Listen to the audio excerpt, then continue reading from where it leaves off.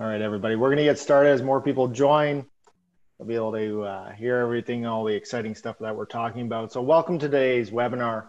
And just as a side note, as we all work from home, as we social distance uh, during these calls, you may hear some background noise on on my behalf or one of the other speakers. Um, that's just something in the world we're living in today. So please bear with us with that.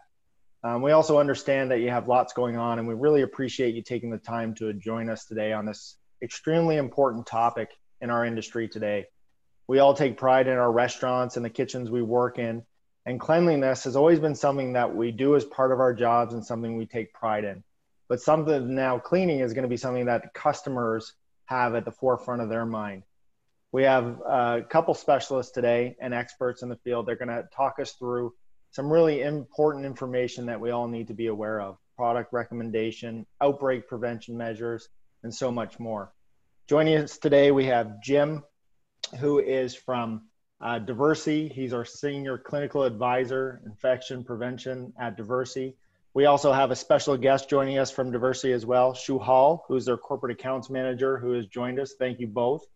We also have Melissa from Gordon Food Service. She's our North American Senior Legal Counsel and be, will be answering and giving us some very important information uh, when it comes to things that we need to think of right now. So with that, if you have any questions during the webinar, please type them in, into the question box. We will answer them as we go and at the end of the webinar. So please, as they come to your mind, just go ahead and type them in and we'll make sure we cover them off for you. So with that, I'm going to hand it over to Jim. Jim, the floor is yours. Thank you, Brett. Uh, I just will share my screen here, which should just take half a second to come up.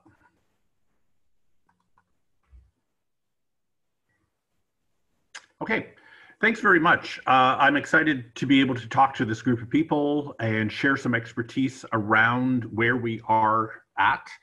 Uh, what I want to do is uh, start with some objectives as to where we are uh, so I'm going to be discussing uh, the new virus as soon as I get the slide to catch up to me here.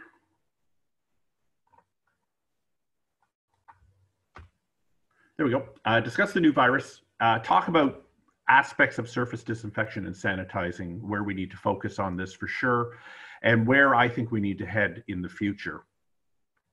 So I know everybody online, one of your prime concerns is to provide the safest environment for your customers and also for your staff. I think this virus has showed us what can happen when we get a virus into a uh, immune uh, naive population is the uh, fancy way of saying we've never seen this before. And certainly everyone online wants to protect their brand reputation. You do not want to be uh, the media darling on the front page of the newspaper or the headline on the 24 hour news show at as having had a problem. That's never good for your brand reputation. Uh, prior to this outbreak of viral respiratory diseases, most restaurants or food service industry people that make it into the news is usually through food poisoning bad bean sprouts or contaminated lettuce, things like that.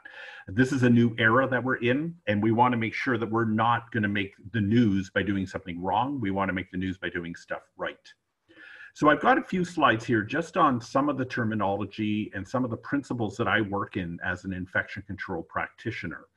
Most of my career has been spent in healthcare. I have consulted with all manners of areas where care are provided. And I've also been a fast food worker back in my teenage years. So I appreciate the importance of providing good food. I think the first thing to take away is you have to clean before you disinfect or sanitize. We can't sanitize or disinfect dirt. It's just not possible to do it. Our products are not made for that. What I'm going to emphasize through this presentation is we have to appreciate what the contact time is for the product that we're using. And we'll have more on that as we go through the presentation because every product has a specified wet contact time to achieve the kill claims that you think are happening. So if you're using a 10 minute product that say is a quaternary ammonium based compound or what I call quats, if it's a 10 minute product on the label, you have to keep the surface wet for 10 minutes to achieve whatever that label said you were doing. If it's a sanitizer at 10 minutes, then you got to wait 10 minutes. If it's a disinfectant at 10 minutes, you're going to have to wait 10 minutes to get that disinfection. Sanitizing claims generally are shorter, and I'll talk about that in terms of how we get the designation of a sanitizer. Another definition I use a lot is because we have to clean before we disinfect, that's just basically removing junk from a surface. So you're getting rid of the dirt, food particles, and stuff like that, using a combination of water and detergents uh, and some elbow grease. This is the other thing that is vitally important in good cleaning and disinfection is making sure that you have the elbow grease, that pressure on a surface to perform the actual cleaning step. And I've stated this already, it has to be done before any kind of disinfection or sanitizing is happening. We don't banter around the word decontamination too much outside of healthcare because uh, it basically just means you make it clean. Disinfection is where we use a chemical to eliminate most or all microorganisms except those hard to kill things such as spores. And it's usually done with liquid chemicals or heat.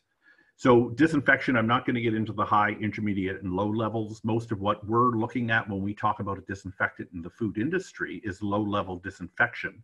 But we're trying to achieve a six log, which is just a way of talking about the kill. Think of it as 99.9999% kill. Uh, log relates to the number of nines quite nicely, by the way. So sanitation or sanitizer it's a reduction in microorganisms, but not to the extent of disinfection. So a non-food contact registered sanitizer, we have to submit that we can kill three log microorganisms, usually in under five minutes in Canada. And if it's a food contact surface sanitizer, to get that designation, we have to show efficacy of being able to kill 99.999 or five log bacteria on a surface in under 30 seconds. That's how we get the designation. So there are set standards in Canada on registering. It's the document's actually called disinfecting drugs, uh, but it covers disinfectants and sanitizers. Pasteurization, you will all be familiar from this when we pasteurize our milk so that we don't end up with other problems uh, in our uh, cheeses or milk. Uh, it's where we heat something up rapidly to a high temperature and then cool it again. And again, it's generally used in uh, food processing for things like milk. So what are we all facing here? Hopefully none of this is new news for you. Uh, the virus that has showed up has been designated as severe acute respiratory syndrome coronavirus number two, SARS-CoV-2. The disease that it causes, COVID-19, is a contraction of coronavirus disease 2019. It is not the 19th coronavirus, uh, as I've heard on some of our media to the south of us here. It's actually the seventh coronavirus that has been recognized at causing illnesses in humans. It is human to human spread.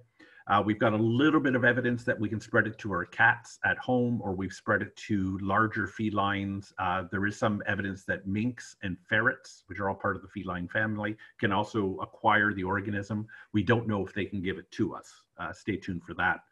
My daily update, uh, because I'm responsible to Diversey to be their infection control practitioner, so I use the Worldometers site, uh, and every time you refresh it, it gives you the current status worldwide on the number of cases by country, the number of deaths, the cumulative total of that, uh, and then it also breaks it down into the number of tests done, and it also gives you the rates of testing and the rates of, or the death rate per million population.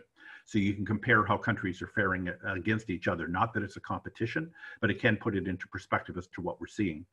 ProMed there is a, a, medical site that will send you an email two to three times a day about infectious diseases around the world. Uh, and it culls it from newspapers and other media presentations, but they have moderators that will talk about the science behind it. So uh, today already I've had two updates from ProMed on what's happening worldwide with COVID, new research that's coming out because they also will keep an eye on the medical journals. We've also got the Public Health Agency of Canada, which all of you should have bookmarked. Uh, it's got great information in all aspects of healthcare. I just found out I can sign up to get an email whenever they update something on the website so I don't have to keep going back to it. The World Health Organization is great too. Uh, they are constantly putting out new documents and updating their documents to let us know what we should be doing. So this virus, the SARS-CoV-2, um, from a microbiology perspective, which is my background, it's an enveloped virus, which as uh, common sense as it may seem, that actually means they're very easy to kill because the envelope is made out of fat or lipids, and that's easy to attack. The non envelope viruses are the ones that are very, very difficult to kill. And we are very, very thankful in the infection control world that SARS CoV 2 is an envelope virus and not a non envelope virus. So we know it's spread by contact. So if you come in contact with a soiled surface and then touch something, uh, what I usually refer to as your eyes, nose, or mouth, or the T zone, which is what that picture is there, you're going to take the virus from a surface and touch yourself. So these are the surfaces that we're trying to focus on as I go through this presentation that we may need to pay closer attention to. The droplet spread is something that we have found out now uh, that we know it is spread by droplets. Uh, large droplets that are going to go that um, one to two meters when we're coughing, sneezing, or talking. And that's where the uh, recommendations that I'm talking about soon here uh, around wearing a mask when you're out in public is so that if you have the virus in your respiratory secretions, you're not going to share it through coughing, clearing your throat, or talking. So the outbreak, um, I've done this presentation a couple of times. The first time I did it was back in March 24th, and actually, I believe that was the data for Restaurants Canada. Uh, so that was pretty preliminary. Then April 27th, I did an update in the square brackets, and then as of May 18th, I updated my numbers. So you can see the infections worldwide went up by a factor of 10 uh, from March to April. We're now right at about 4.9 million people worldwide have tested positive. We've seen 319,000 deaths, and that goes up hourly. In Canada, when I checked yesterday, we were at 5,800 deaths, just over that, at a death rate of about 155 deaths per million population.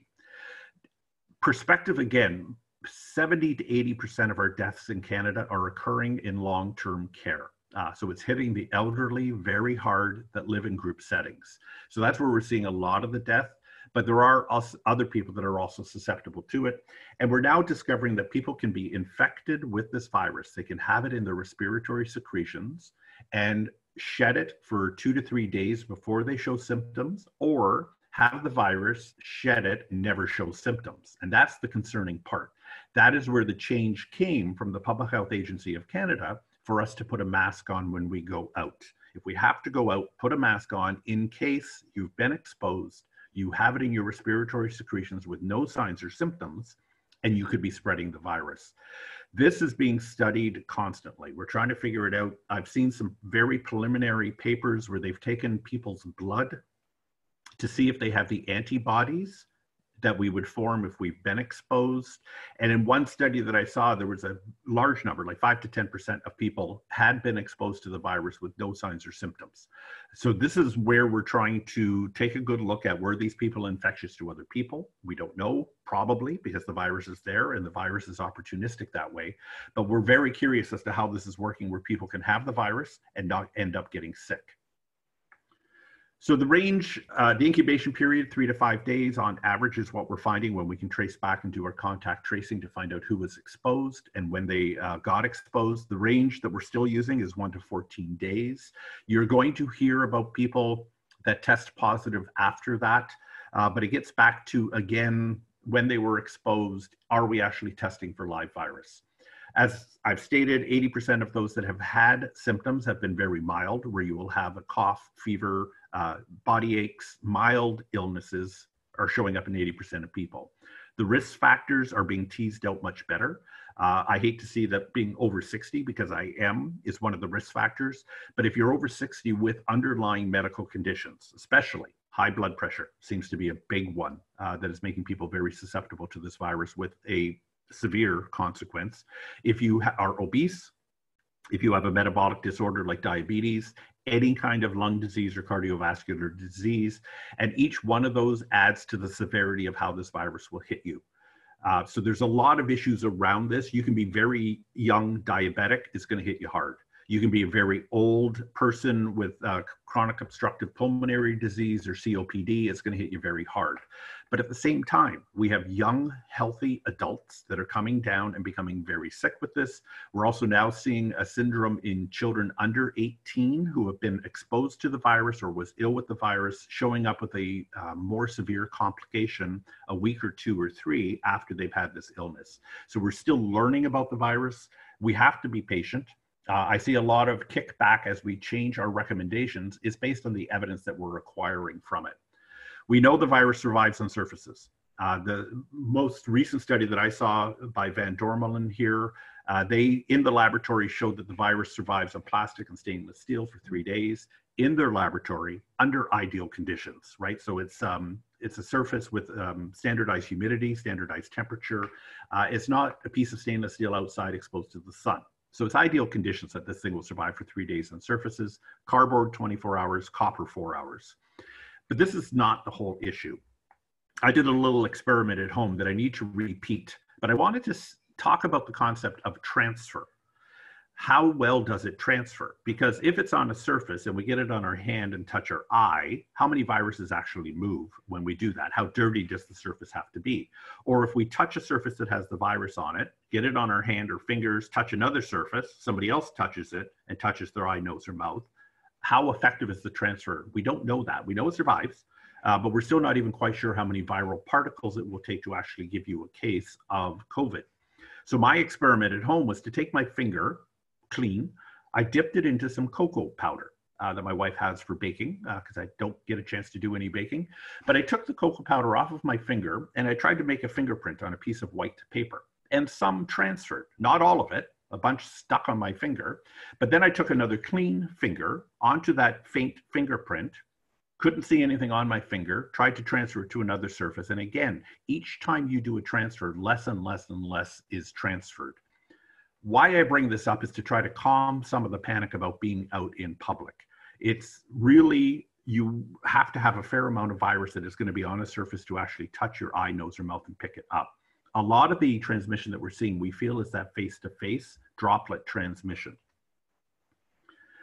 So that's when you actually have someone who has the virus and is talking to you face to face. And they could be in that pre-symptomatic period or prodromal period where they've they're actually got the virus in their secretions. And through coughing, sneezing, kissing, talking, or singing loudly, we will see the transmission. Because I'm sure many of you on your social media feeds, which I do not recommend you use to get your updated information on COVID, but you're seeing about uh, choirs that um, you know practice social distancing and still spread the virus. Uh, these are all very anecdotal until we get a good look at it and have it peer reviewed. I try not to read stuff like this until it shows up in some credible, creditable medical journals. Uh, JAMA is a good journal, The Lancet, and again, I subscribe to those to get updates as to what is coming down the road in terms of some of the present, uh, some of the papers that are coming out.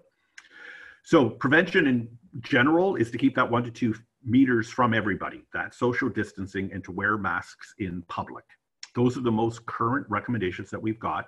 And from what I'm understanding, if you have a mask on, you should still try to social distance. The mask is stopping you from sharing spit to susceptible people or on two surfaces. So if you have someone who doesn't have a mask on that might carry the virus, the homemade masks aren't to protect you from getting the virus coming in. It's to keep you from sharing the virus out. So if you're with someone who is not wearing a mask, that's when you want to have the social distancing. Two people with masks on are probably okay to get close to each other, but we're still just recommending let's keep up the social distancing. I don't want to get into a flow diagram of if you've got this and then this, or if you've got this and this, then you can do that. It's just too much right now. Personal protective equipment. Um, gloves are driving me nuts because I see people at the hardware store and at the nursery and at the food store with gloves on. Do not wear gloves in public. If you have to wear gloves as part of your job, wear them for what you are trained to use them for and take them off when you are done that job. My biggest problem with gloves, even in healthcare, is watching people touch themselves with gloves on. And many times you can see them thinking, I'm protected, I've got gloves on, and then they touch themselves. And that's not the purpose. Gloves, if anything, will pick up more off the environment. I sort of picture them like the flip side of a sticky note. They're going to actually pick up more stuff. They don't repel, uh, and if you don't know good glove etiquette, you are putting yourself at a higher risk. Um, so that's what I'm trying to get rid of. It doesn't help when you see very famous people on TV when they do newscasts of them having their gloves on. Uh, that drives me crazy. So here are some of the best practices. Don't touch. Uh, you know, I think our society going forward from here will not do a handshake to greet each other. The elbow bump is good. A head nod is great. Wash your hands. Uh, they recommend a good 20 seconds of lathering to make sure that you have removed and or inactivated any virus that might be on your hands. Hand sanitizer with at least 60% alcohol is great if your hands are visibly clean. Hand sanitizer doesn't work on dirty hands like any other sanitizer. Frequently touched uh, objects should be cleaned and disinfected, and I'll be coming to that. If somebody has respiratory signs and symptoms, they should not be out in public. If they have to go out to public, uh, out in public to say see their physician, they should have a mask on. And a homemade mask is fine. Even a bandana is going to limit the amount of transmission that's going on. Keeping your mouth covered when you have to sneeze or cough is so vitally important. And then the face mask if you have to go out in public at this time. So in public areas, really, we shouldn't be changing a lot. Uh, we should have been practicing this forever. I, as an infection control practitioner that now travels for a living, that's my role with Diversey is to provide education in North America. It amazes me what I see. Uh, so we may increase the frequency of our practices, but a lot of what I want to point out here is that our practices have to be done perfectly and properly to make sure that we're not going to uh, create a false sense of security, really. Increasing hand hygiene, having access to disinfectant wipes, having facial tissues out. I I love hotels that have facial tissues in the restroom uh, where I can actually get a Kleenex if I have forgotten to get some. Uh, that helps me blow my nose or clear my secretions using a tissue. Having it out is that visual commitment to public safety. I think we're going to live with having clear barriers between high use areas, so between a cashier and a customer, I can see these barriers staying. Uh, I know most public places that I'm going into, be it the liquor store, the food store, even at the garden center, there was a plastic shield up to keep the cashier away from my direct secretions, even though I had a mask on to go into it. Hand hygiene, hand hygiene, hand hygiene. Uh, I, I, get paid really good money to tell people to wash their hands uh, all my career as an infection control practitioner. In the food setting, these are standard public health measures that everyone is trained to do. So if your hands are dirty, if you've used the toilet, if you're going to prepare food, you have to wash your hands with soap and water. If you've emptied the garbage cans, if you've been handling cash, um, if you are in a production kitchen and you have to go to another part of the building, if you've coughed or sneezed into your hands, etc that is the hand washing with soap and water because soap and water actually removes the dirt off of your hands and the bacteria and viruses and your natural skin oils. So if you have to wash your hands a lot, you are probably going to want to make sure you also have a hand lotion so that your hands don't dry out. Alcohol based hand rubs are great, but your hands have to be visibly clean to me, it's ideal for customers. I would love wherever there is a touch screen that as I order my menu, of course, I don't use my fingertips. I use a knuckle off of my finger. So I don't, because I will feed myself with my fingertips and not my knuckle. Uh, I'm just aware that way. I use elbows to hit elevator buttons and all that kind of stuff too. But if I could use a touch screen and know I could sanitize my hands, uh, or if I've used a, a, menu in a restaurant that was a little on the sticky side, it's nice to have a hand rub available to me. I'm not sure where we're going to end up with salad bars and buffets. That's why I put this down here if they survive. Uh, I'm really not sure uh, what the recommendations are going to be from public health officials around these common eating areas. But for sure, and this was common at my infection control conferences, there would always be a hand sanitizer at the start of the buffet line. And after I've gone through the buffet and used all of the serving utensils, I would sanitize my hands before I ate or make sure I use utensils and don't have to use my fingers to actually feed myself. So this is one area I can't really predict where we're going to end up with it. In your food settings, we've always had standard practices that we should have been following. Um, I talked about the sanitizer, but I've had a lot of calls from people saying, does your sanitizer kill viruses? And I was surprised to learn, because I'm a healthcare kind of guy, that sanitizers do not have to be tested against viruses. For the microbiology nerds online here, we test them against gram-positive bacteria and gram-negative bacteria. And as I stated earlier, we have to show an efficacy of a three log kill if it's a non-food contact surface, or if it's a food contact surface, we have to show that five log kill within 30 seconds. Disinfectants can actually kill more organisms, but depending on your disinfectant chemistry, may take longer to kill the organisms than a sanitizer. But if they're registered as a disinfectant, that's why it's so important to follow the contact time on the label. Viruses are checked at four log, that we have to show our efficacy within that label claim, bacteria at six log. That's just all the testing aspect of it. What I do want to note, and I've heard of some food service industries that are switching away from their sanitizers to use disinfectants. And I want to point out what my food scientist has indicated that even if you use a disinfectant on food contact surfaces, you still have to follow the steps of clean the surface, rinse it off, right? So you use your soap and water and elbow grease, Then you would apply your disinfectant, allow the contact time, and you have to rinse. There is no such thing that I'm aware of that is a no rinse disinfectant. So after you've cleaned with soap and water and rinsed, applied your disinfectant for the contact time, you have to rinse. And then by law, you still have to sanitize the surface. So to me, that's starting to get into a little bit of overkill unless you're in a situation where there are body fluids present at back of house. So that's why I set up this slide to show the back of house where you're going to clean and utilize your sanitizers as you do for standard operating procedure. That's why they are in place. That shouldn't have to change. Where I see a disinfectant being applied as a safety measure is if you've had a known positive employee uh, where they phone in saying, hey, just found out I was positive, then you may want to consider a disinfectant at back of house. Obviously, if you've had a body fluid spill, this should apply from that rapid onset nausea and vomiting kind of thing, where all of a sudden somebody is going, oh my goodness, I feel unwell and vomits. That should be cleaned up and disinfected if it's at back of house for sure. Uh, that takes care of any potential problems that are there. At front of house, Jim, yes. Sorry, Jim, can I ask you a quick question? Because you mentioned it there and uh, you provide a lot of great information. So the question coming in is um, around that sanitizer piece. And if you're going to get to it, just say, we're going to get to this and we'll carry on. Is a quat sanitizer acceptable practice for sanitizing services? Yes, with some provisios. So the issue with a quat product that uh, we've been sharing this awareness through healthcare, and I'm not sure how well it's being shared within the food industry. It depends on how you apply it to a surface because quats are the opposite charge of cotton cloths, and hence you have opposites, they attract, and the quat gets bound to the cloth. So if you're applying your quat with quat sanitizer with a cotton cloth, you're actually absorbing the quat out of the solution. And I've got some recommendations on that at the last slide here where we will look at different products that don't have this quat binding issue. But a quat sanitizer left on for the appropriate length of time will kill the bacteria indicated on that sanitizer. Okay, so they should be using, if they are using a quat, they should be using a different style of cloth, which you'll get to. Yes, I will. Thank you. Okay, so at front of house, this is where your public are going to be watching a lot closer to see what you have in place.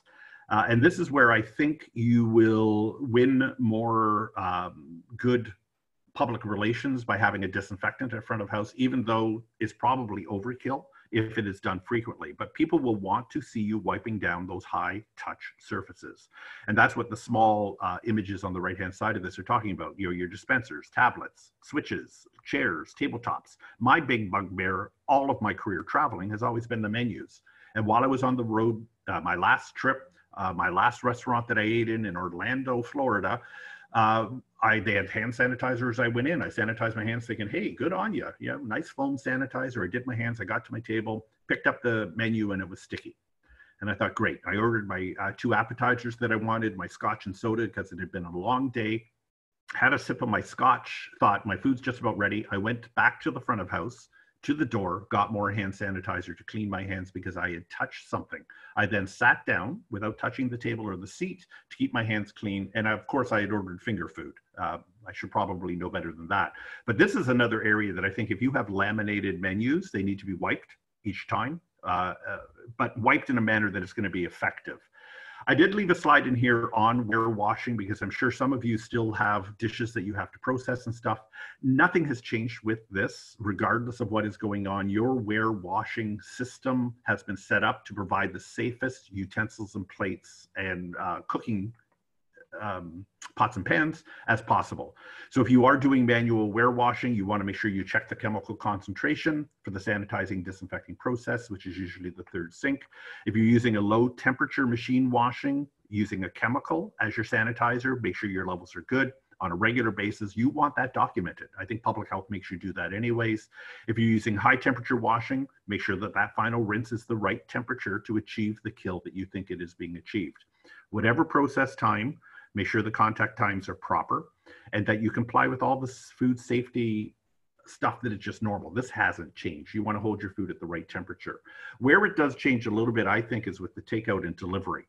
So with takeout, which a lot of restaurants were able to maintain in some cases where you have the customer comes to us, the risk is having symptomatic somebody with COVID uh, that it just wants some comfort food coming to your restaurant, or those pre-symptomatic people coming in. And this is why we have the physical distancing, we have the barriers up, and we really want to see our customers showing up with a mask on. Uh, so that they're not contaminating or putting your employees at risk. That's also why we have the good cleaning, sanitizing, and disinfection. Now, in many cases, I feel this has gone a little overboard. One of my large chain grocery stores that shall remain anonymous uh, have barriers up at the cash that they wipe off every time uh, a customer has been through there. And it's a vertical barrier that nobody touches. You reach through it to use your pin pad. Uh, and I had a mask on, and I'm thinking, why are you wasting all this um, disinfectant to do a barrier that no one has actually touched? However, so delivery, where the food goes out to the customer, uh, when my presentation that I did for Restaurants Canada talked about we need to get better at showing the customer that the food has not been tampered with, so it should be sealed. I suggested that when the food is packaged, it's dated and timed, so we know exactly when it went into the packaging. Because if I order something and I know the restaurant's approximately 20 minutes away, and they tell me, you know, your food will be there in half an hour and it's an hour, I sort of want to know what's happened. You know, has it been held at the right temperature? That kind of thing would make me much more comfortable about getting product from your restaurant. Your delivery person has to be asymptomatic. If it if they're symptomatic at all, they should not be working that day it's probably better t- for them to perform hand hygiene um, as they pick up the food and when they come back to your area. I know we are doing this all non contact where they leave it on the doorstep, ring the doorbell, and run away, so to speak. Uh, having good screening every day, um, and I've seen recommendations where you're going to have to start taking the temperature of everybody showing up. We'll see where that pans out. Uh, temperature is sort of hit and miss for detection. A lot of it, again, is where have you been? Who have you been with? Anybody around you sick? So my disinfectant recommendation. So this is the disinfectant. If you're using a disinfectant, Health Canada came out and said, in order to kill the SARS-CoV-2 virus, you need to have a, a product that is labeled as a broad spectrum viricide. So just saying viricidal, meaning it's killing viruses, isn't good enough because you can get that claim just being able to kill easy viruses. So Health Canada says you need a harder to kill virus most of your store-bought brands that we're all familiar with should list either adenovirus or rotavirus as these harder to kill viruses. When you get to a hospital disinfectant, they will have hard to kill small non-envelope viruses like norovirus or rhinovirus or maybe even hepatitis A to show that efficacy of a hospital disinfectant. Now, Health Canada modified that after things calmed a little bit and said, or use a disinfectant with a claim against a specific coronavirus, such as MERS, which is the Middle East Respiratory Syndrome coronavirus, the original SARS virus, which many companies tested. And the laboratories actually recommend that we use a human coronavirus strain 229E which is just a standardized strain that we utilize. There is a list available at the URL there. Health Canada updates their list constantly. I know Diversey has submitted many of our disinfectants to be on the list showing the efficacy against the harder to kill viruses. So if you are looking for a disinfectant, these are the recommendations that you should be asking your supplier for, that they're on the Health Canada list or they meet the criteria that are listed on this slide. So my last couple of slides here are just talking about where I think we're going to end up. You know, nobody should have been coming to work sick. That should have been a given since day one. Um, it has driven me crazy that a lot of our, uh, in healthcare, a lot of people are permanent, part time, or casual, so they don't have benefits. So if they don't go to work, they don't get paid. And I think that's what we're seeing throughout the um, outbreak that we're close to in North America. So your staff should never come in sick, your driver should never come in sick, and your clients should stay at home if they're unwell. Um, it used to be uh, in many parts of Asia that if you had a sore throat or a runny nose and just felt a little bit off, you put a mask on to go out.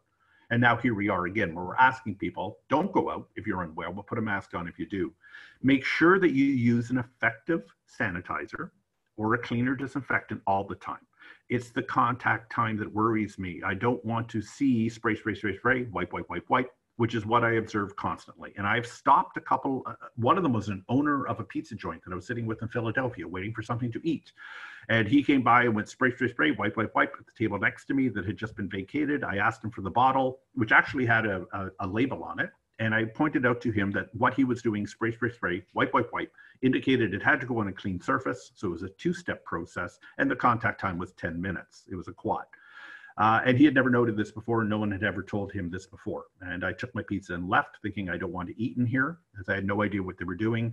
The physical barriers, I'm not sure how this is going to end up. I think, like I said, if it's a high use area, I think these will maintain much like our sneeze guards did for salad bars and things like that. I think they're going to stay. I think we're going to all get a little bit better at having a little bit more in inventory for our cleaning and disinfecting supplies. Uh, healthcare lost on this one big time. I know after 2009 with the H1N1 pandemic that we had, where this virus showed up, we all did pandemic planning. We filled up a warehouse with enough stuff that in case our drivers didn't show up for 30 days, and then nobody rotated the stock and it all expired. We're still pulling masks out of pandemic supplies in North America where the elastic band has disintegrated because they're now six, seven, eight years old. So if we're going to have more stock in, we have to make sure that we do keep up the expiry on these. Um, we have to train everybody. That's mandated. That's law that you have to have your employees trained. They have to understand their WHMIS or their GHS um, systems in terms of what they are working with and what the risks are inherent to them. As I said, we need to try to figure out when we can sanitize. If you're using a cloth sanitizer, even if you're using a microfiber cloth, you need to check to see if you have quat binding and how quickly does that happen. And Suhayl can talk about this in a, a couple of slides here, but any kind of cloth, uh, you need to check. Cotton for sure is going to bind. So if you're using old face cloths or old towels, it's going to bind. After that, if you get into an industrial cloth, I don't know, test it. Find out if it happens instantaneously, if it happens after five minutes, 10 minutes, or 30 minutes, especially if you soak a cloth in the solution. What is probably better is to find dry wipes that have been verified to work for disinfectants that you can add your solution to, and then you pull up like a disinfectant wipe, or buy pre-wetted ready to use disinfectant wipes that have been tested. They're stable for a couple of years inside the container. You know that the company has tested them for whatever chemistry is in there in the cloth and you know it's not going to cause you any trouble. Talk to your manufacturers, recommend best products.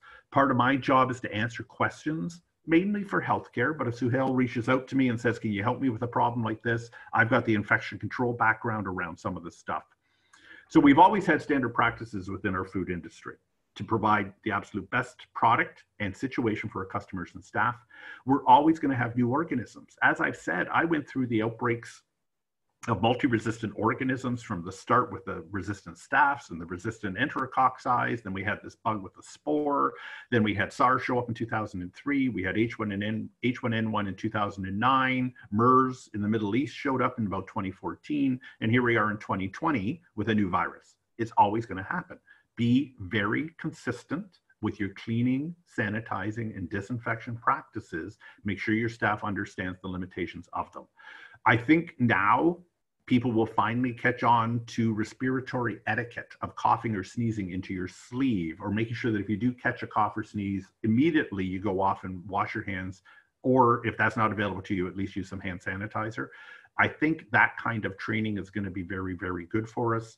Uh, I'm hoping we get back to the days when my children were in grade one and grade three when we first moved to Kingston, Ontario, where I currently sit, and they had dad come into the classroom to teach the kids how to wash their hands. And that was using the fluorescent gel that they put on their hands. They wash with soap and water. You turn out the lights and show them with a black light. I trained these children in grade three. Uh, one of my sons classmates. I ran into her in grade six when I repeated it. I saw her as a volunteer when she was in high school. I saw her when she was in college to become a nurse. And her hand hygiene techniques, because I watched when I show people how to wash their hands, were impeccable. And that's a huge cornerstone of what we're trying to do. I'm going to turn this over to Suhayl now uh, to talk a little bit about the disinfectant breakdown. All right. Thank you uh, very much, Jim. Really appreciate it. So, uh, my name is Suhayl Muhtaseb, and uh, I'm uh, the uh, the national corporate accounts uh, manager for uh, Diversey for uh, our hospitality and food service industry, and uh, I oversee our relationship with GFS Canada across the board. So I really work very closely with GFS and helping GFS help our mutual customer base, obviously. So put together this little structure here because you know everybody's going to, going to ask really at the end of the day, okay, tell me what products do I need? Just tell me what I need so I can bring them in here and use them and ensure the safety of our of my customers and and my staff. Uh, so what we kind of did was a pretty uh, kind of simple chart here that kind of gives uh, customers a good, better, best solution. Um, and we broke it down into disinfectant liquids, disinfectants wipes, and then hand sanitizer as well. Now, some of these products, uh, some of you guys might be uh, obviously uh, um, aware of some of these products and recognize Lysol, for example, is a very uh, uh, you know reputable brand, and and people know this, and we use it in our homes and what have you. Some of these other items you might be hearing for the first time, you might know them, like uh, like Oxivir. Oxivir is a is, is is one of our main disinfectants that we use at Diversey that we offer to many of our customers, um, and um, you'll find a lot of these items listed on the uh, Health Canada uh, link that Jim had mentioned earlier in his presentation that lists a variety of different products from a variety of different vendors. So it's not just Diversey, of course. Uh, you can um, obviously uh, filter if you want Diversey products and see exactly what Diversey carries and, and is uh, uh, certified by Health Canada. And of course, you can see other vendors that you might work with as well. Um, when we broke down the good, better, best uh, uh, product groups, we really tried to think of a few different factors as to what would be the best solution to offer. Um, one of the one of the things, the first things was uh, um, obviously contact time. Jim spoke about contact time and how that is extremely important, and that you must follow the label of any item that you have when it comes to uh, disinfecting. So, for example, as you can see in the uh, in this uh, present in this uh, slide, uh, for example, under the good column, you'll see a couple of items, uh, Virex 2256 and Crew Restroom. These are two items that we have that are good liquid disinfectants, and the contact times for those are 10 minutes. So again, they, in order for you to get uh, the uh, uh, for in order for that product to actually do what it's supposed to do, after you clean and rinse first, and then you use a disinfectant, you must leave it there for 10 minutes. Now, in some cases, um, 10 minutes is too long of a time uh, for, for certain customers. They can't wait for 10 minutes before someone, let's say, needs to reuse that dining room table um, or for whatever reason there is. So you can move on to the better um, uh, solution, which is Lysol, a Lysol disinfect, uh, disinfectant spray. Contact time there is four minutes. Best is our Oxivir TB uh, ready to use, which has a one minute contact time. So again, you know, different solutions depending on, uh, depending on your needs.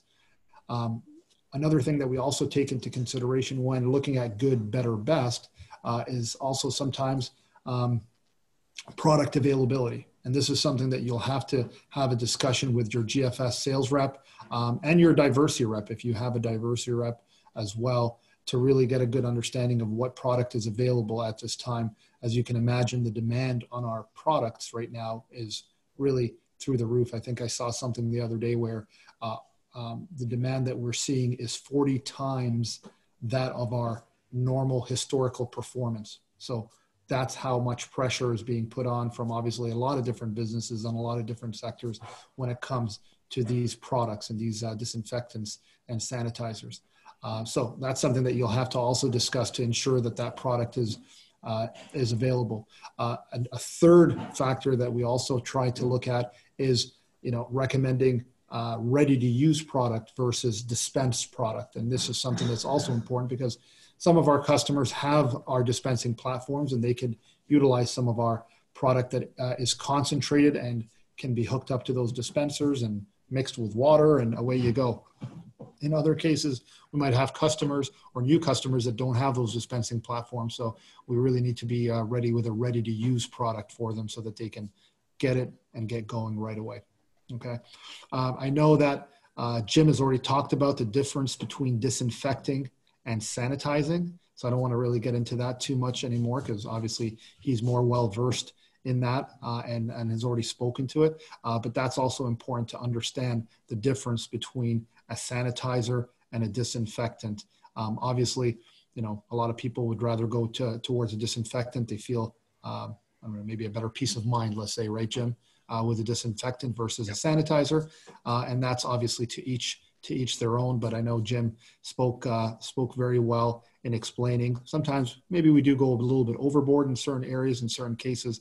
Uh, but I think the bottom line is, if you follow the label, follow the instructions, and really adhere to uh, to that contact time, uh, I think you'll be in good in good shape. So again, the proper dwell time is the most important thing here. So um, awesome. this this is just some information here for you that I wanted to share, um, and that's uh, about it for me. Those Joelle and uh, Jim, thank you very much for all that information. I mean, there was a, there was a lot of great information in there, a lot of uh, learning I took away from that.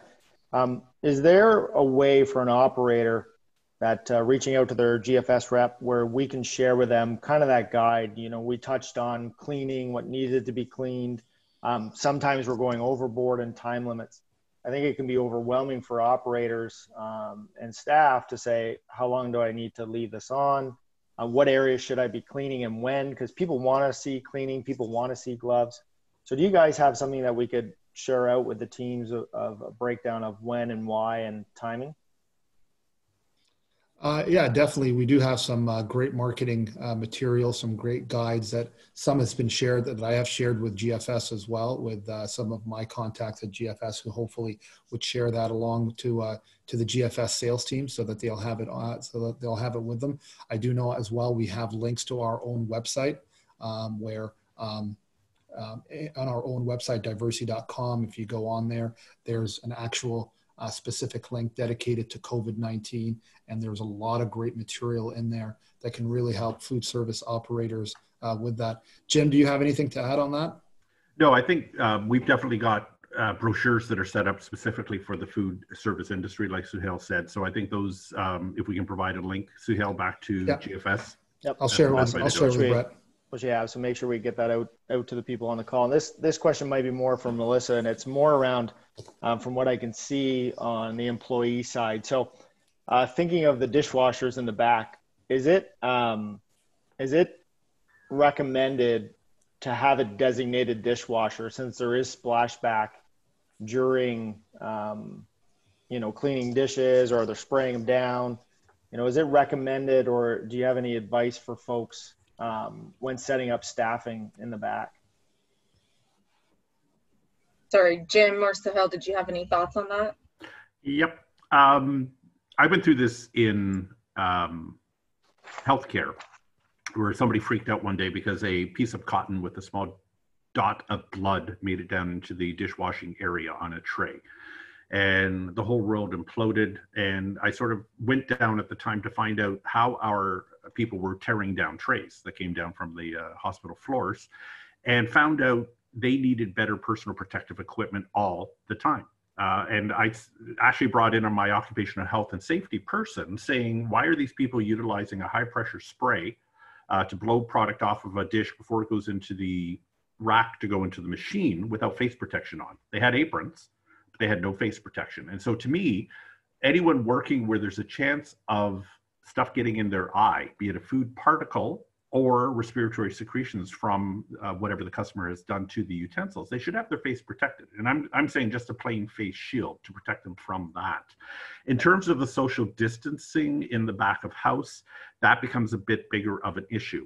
Again, I've seen some stuff suggesting just having a clear headband face shield on is going to stop respiratory secretion. So if I talk, turn to talk to the person next to me, my secretions are going to hit the inside of my shield. Their secretions will hit the inside of their shield. We're probably okay to be closer working together.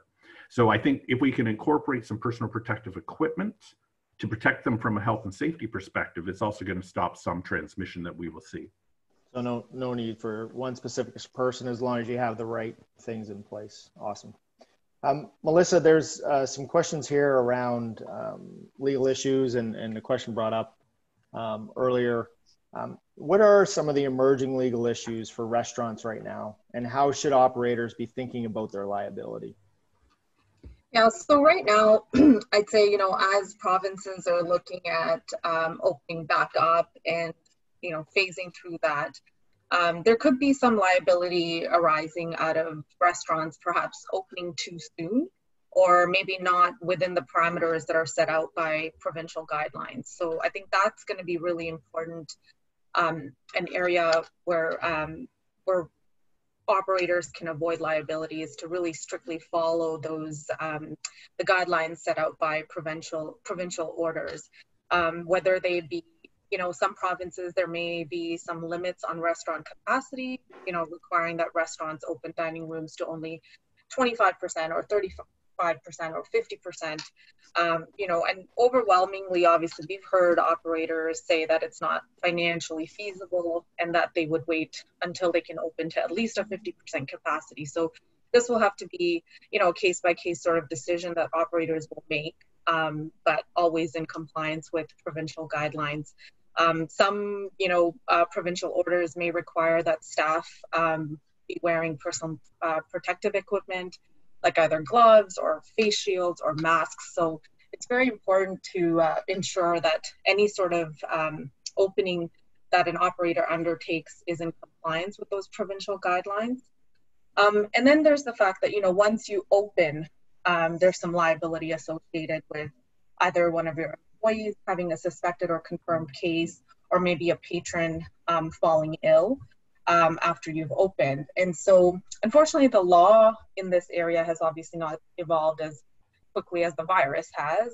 Um, so, you know, there could be some so called exposure cases where there could be allegations that somebody contracted the virus as a result of either action or inaction um, of the business owner. This is something that is really being seen as one of the biggest threats to Canadian business uh, post COVID. Um, you know, because it impacts really any business in any industry where an employee or a customer uh, may fall ill.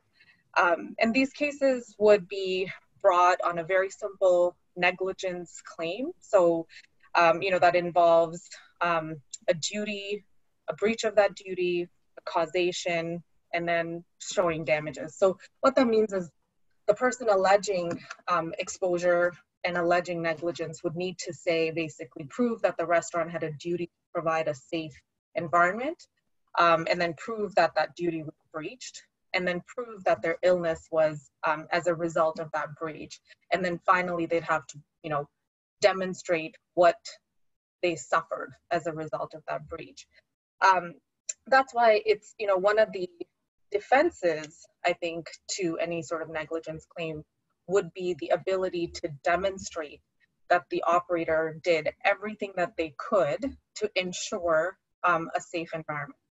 So um, following obviously public health authority guidelines any sort of provincial requirements um, demonstrating that employees are trained um, posting signage actually you know, even throughout the restaurant, whether that's about um, signage that promotes physical distancing, whether it's, you know, signs that display um, maximum number of customers in the restaurant at one time. Um, so all of these things are going to be important to demonstrate. It's going to be important to demonstrate that when you are training your employees, how often that's happening. So, you know, document um, safety measures that you're taking document the training that happens, document sign off from employees.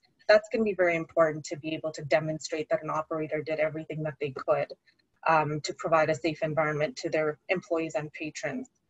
Um, you know, one of the challenges with this virus is obviously contract contact tracing. Um, it's it's difficult to know, especially in a restaurant environment, uh, who's interacted. I mean, you've got patrons coming in from the general public. Um, so that will be a challenge. So it'll be important for restaurants to kind of be mindful of creating the sufficient physical distancing, creating, taking the measures that um, you know Jim and Suhayl were talking about in terms of ensuring that employees are wearing masks or um, you know and also demonstrating to the public as well that they're um, you know that cleaning is happening on a regular basis. And I, I think, again, tracking those and monitoring those um, will be important. So with, um, with that, sorry, I don't I don't mean to cut you off. That one last question came in, and we're we're getting tight on time here. Um, so when you talk about that, you know, explaining that out, what role does communication play, and how should operators be thinking about communication um, in light of these issues? Yeah, so I think communication can be really key, um, whether that's communication to your employees about um, safety measures and your expectations as an employer, um, or whether that's communication to your customers about what the expectations are in terms of health and safety while they're within your premises. Um, an example is, you know, right now the general public is extremely freaked out about COVID, and you know there are lots of people tweeting and posting to social media about businesses that are not taking the precautions. I've, I've seen posts about certain, you know, local grocery stores that are not taking precautions and warning the general public against going to that business. Um, this will be really important. Like I think reputational capital is going to play a big part in that communication piece. So you need to build that reputational capital so that if were to be, you know, caught up in an allegation, um, demonstrate that in communicating. Um, I think it's very important to also understand, have a plan in place for how you, if there is a positive, either with an employee or a customer, um, I think it'll depend on a case by case basis, but each operator should really have a plan at the ready on how they're going to communicate out if there was a positive. Awesome. So we we are getting tight on time. Um, there is a, still a couple questions out there that um, we will get to. Uh, we will follow up with uh, the individuals. Um, I want to thank everybody. I want to thank our guests uh, for all this excellent information. Um, if you do have other, um, um, and we have your contact info, if you've in, input that information, we will get back to you with the answers. If not, as always, please reach out to your Gordon Food Service rep. Uh, they will get the information to us and we will get you the answers to your questions like always. So Jim, Suhayl, uh, Melissa, I want to thank you very much for your time. I appreciate uh, everything you've done for us, and we'll make sure we talk to you guys soon. Thanks so much, everybody. Thank you. Thank you.